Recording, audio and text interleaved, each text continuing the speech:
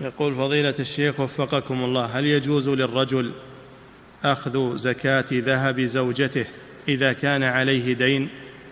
هذا فيه خلاف أن صدى زكاة المرأة لا تحل لزوجها المذهب أنها ما تصح لزوجها لأنها ستعود إليها وسينفقها عليها لكن التبرع لا بأس تعطي زوجها من التبرع صدقة التطوع لا بأس وأما الزكاة لا نعم. وهل يجوز أن يأخذها الزوج ويعطيها لأخيه إذا كان عليه دين؟ إذا أن قالت له أعطها من تريد من الفقراء وكلته في ذلك لا بأس هذه وكالة. نعم.